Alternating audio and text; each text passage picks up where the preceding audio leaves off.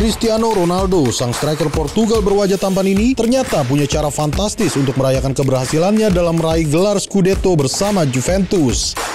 Juventus yang telah menyegel Scudetto pada musim ini, atau tepatnya raihan gelar yang ke-9 secara beruntun sejak 2011 lalu itu, merupakan trofi Liga Italia Ronaldo yang kedua sejak ia didatangkan dari Real Madrid pada 2018 lalu. Dan pada kesempatan kali ini, Ronaldo pun merayakannya dengan sangat istimewa, di mana mantan penggawa Sporting Lisbon, Manchester United, dan Real Madrid itu telah membeli sebuah kapal yak mewah seharga 6 juta euro atau sekitar 105,5 miliar rupiah.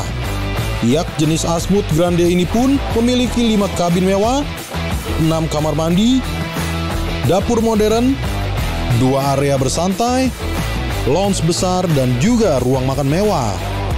Adapun untuk spesifikasi mesinnya, yak milik peraih 5 Ballon d'Or ini pun memiliki panjang mencapai hampir 27 meter dan bisa menempuh kecepatan 238 knot dengan dua mesin berkekuatan 1900 tenaga kuda dengan bagian badan yang terbuat dari serat karbon.